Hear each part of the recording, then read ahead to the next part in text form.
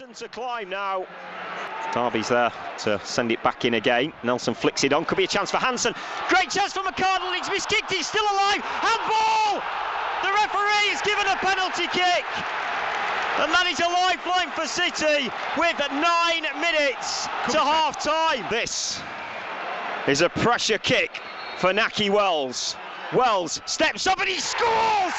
Nahki Wells with a crucial goal, and City are back in this playoff.